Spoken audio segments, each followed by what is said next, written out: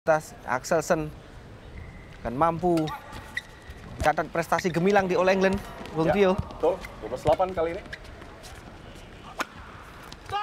Wow, Luar biasa kita lihat satu space hilang tadi di area forehand dari Victor Axelsen tidak bisa dijawab oleh Victor. dan lagi-lagi di sisi kanan, Bung.